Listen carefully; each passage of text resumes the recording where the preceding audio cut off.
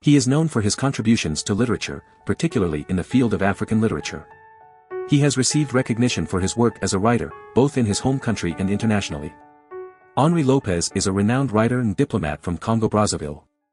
In the annals of Congolese history, one name stands out, Henri Lopes, a legendary figure whose contributions to politics and diplomacy are unparalleled. Born in Leopoldville, the capital of the Belgian Congo, Lopes embarked on a journey that would shape the course of his country's history. After receiving his education in France, Lopes became deeply involved in student activism, serving as the president of the Association of Congolese Students and making his mark as a passionate advocate for his fellow countrymen. Lopes's political career took off when he joined the Congolese Labour Party and became a member of the political bureau. Under the presidency of Marien Ngouabi, Lopes held several key positions, including Minister of National Education and later Minister of Foreign Affairs. As Prime Minister from 1973 to 1975, he played a crucial role in shaping the policies of the government, both domestically and internationally. But Lopes's contributions extended beyond his political career. After his resignation as Prime Minister, he took on the role of the political director of Etumba before returning to the government as Minister of Finance. His expertise in financial matters proved invaluable during his tenure, and he later went on to work at UNESCO, where he served as Assistant Director General for Culture and Deputy Director General for Africa.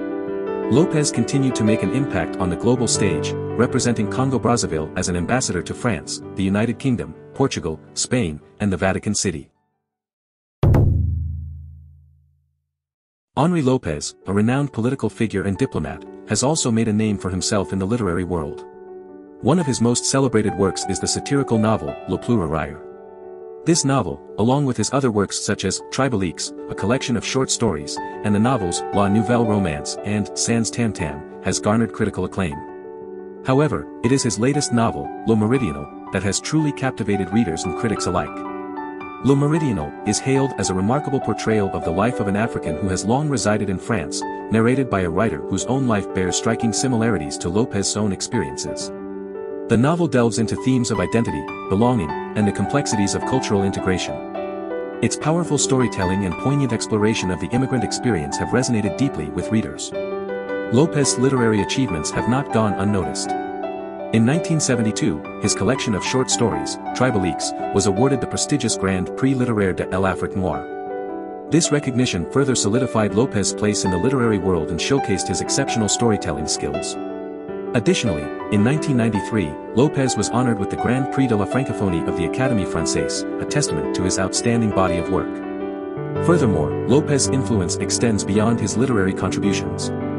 In November 2015, he delivered a keynote address at the 22nd International African Writers' Day Conference in Accra, Ghana. The conference, organized by the Pan-African Writers Association, celebrated the life and works of Chinua Achebe, a pioneer of African literature.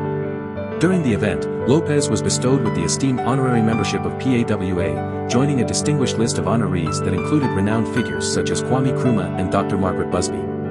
Henri Lopes has undoubtedly left an indelible mark on the literary landscape.